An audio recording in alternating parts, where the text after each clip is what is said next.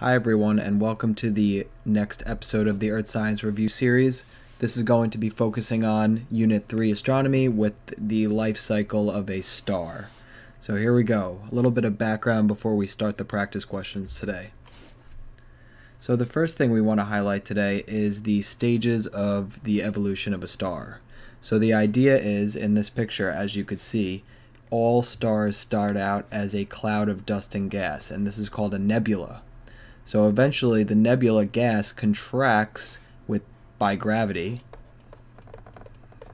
and the gravity makes all the dust come together and you get a protostar right here which is like the early stage or the eh, like the embryo of a star essentially. And eventually when it gets hot enough and there's enough pressure, this process called nuclear fusion starts to occur. And the moment that nuclear fusion starts, it produces heat and light, which is fusing the hydrogen atoms into helium in the center of the star, and the star starts to shine. So you need the fusion to start occurring before you get your main sequence star. Now, all stars end up becoming main sequence stars. Depending on the size or mass of the star is going to depend on which life cycle they go down. So as you could see, we're going to start with the medium mass stars. So this could be medium to low mass stars.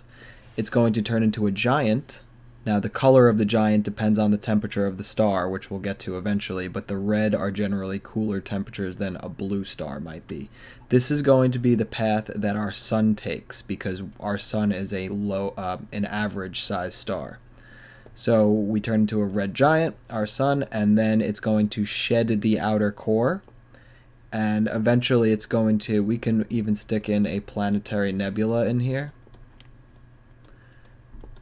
Before the white dwarf and the white dwarf is just the core of the dead red giant and then it eventually burns out into a black dwarf. So this is going to be our path. Now on the other side there's the high mass stars over here. So if the star is big enough on the main sequence it will grow to become a supergiant in which case the supergiant is so massive that it ends up exploding in a supernova. And the highest of the high mass stars, the biggest, become black holes, and the second biggest, or a little bit smaller, become neutron stars. So a black hole and a neutron star will never be the fate of our sun because our sun is just a medium mass star. And eventually, at the end of the day, we will get a new nebula that forms. So that's the evolution of the life cycle of a star. As for the HR diagram, so this is on page 15. These are this is the main diagram of all the star questions that you're going to see. So I'm just going to run through it real quick. There's multiple axes here, and there's all stars in the middle. So let's start with the x-axis. We got surface temperature down here, which is measured in Kelvin. The hotter, as you could see, is over here, and the cooler is over here.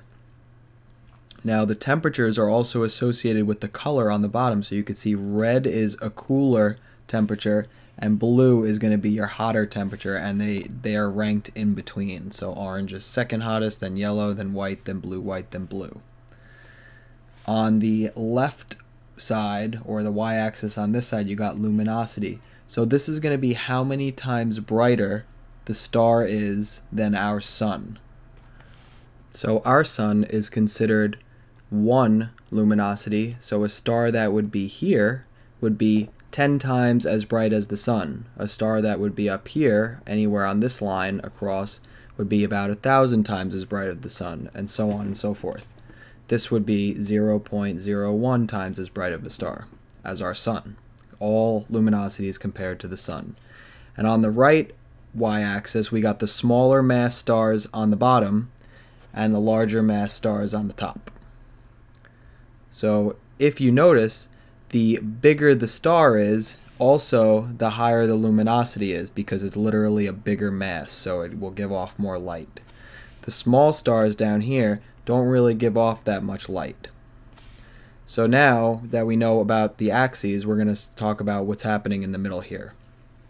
So all the black dots are all stars. Now you could see most of the stars are on the main sequence. So about 75 to 90% are on the main sequence. So there's a group of stars here. These are the main sequence, which is most of the black dots. Then you got the giants, which are like here. I actually should have circled Polaris in there. And then the supergiants up here. And then we got the white dwarfs down here. So you want to look at this as those groups, essentially. So the idea is you could see they sort of label the stages. So the main sequence is considered early stage. And then depending on the size of the star, which we just talked about, you're either going to turn into a giant, which is an intermediate or medium stage, or a supergiant, which is the other medium stage. And then after that, they actually don't show the supernova or the black door, uh, the black holes or the neutron stars on here. The supergiant's life cycle on this chart ends here, but the giants will turn into a planetary nebula and end up going down here after it to a white dwarf. So essentially, if I get rid of these arrows, the life cycle of our sun will do this. Here's our sun, we're on the main sequence. It's going to eventually turn into a giant, and then the giant is going to eventually burn out and turn into a white dwarf. So that's what our sun would do on this chart. So they can ask a million questions about this chart. So essentially, um, they can compare all the stars, and you have to use the, the data on the chart to compare the stars, which we're going to see in a second. So that's generally the idea of this chart. All right, let's do some questions and see if you guys got it. So here we go. Number one. The reaction below represents an energy producing process. So remember, it works best if you pause the video, try to answer the question, and then listen to my explanation. So here we go. Hydrogen, lighter, plus hydrogen turns into helium plus energy. The reaction represents how energy is produced where? So this is H plus H gives you helium and heat or light. This is the reaction for nuclear fusion. Nuclear fusion. This happens in the center of the star. So A would be your answer for that one. Number two, which star is more massive than our sun but has lower surface temperature? So we want more massive but lower temperature, and they give us four choices. So when you start to see the names of all these stars, this is immediately turned to page 15 in the reference table. So here we go. Our sun's right here. So we want a star that's more massive. So more massive. So it's got to be above it. So it's somewhere above it. So it's not Barnard star, Proxima Centauri, Procyon b, or Eridani 40. So we can get rid of those automatically. This is gone. This is gone. And it has a lower surface temperature. So that means that our sun is about here so it has to be, the answer has to be somewhere over here. Because it has to be more massive with lower temperature. So the answer is either going to be Pollux, Aldebaran, and Betelgeuse. So we could see Aldebaran is a good choice. Sirius is all the way, where's Sirius? Over here. So Sirius is actually hotter in temperature, so that's not going to be a good answer. So that's how you do it. That's like, this is like the cookie cutter question of how to use this chart. For other stars in our galaxy that go through a similar life cycle to our sun, which we talked about, what the sun is going to go through, which star is currently in the late stage? Well, check this out. Go to this chart. We know that our sun's going to go uh, turn into a red giant. Pen. Uh, red giant, and then uh, white dwarf.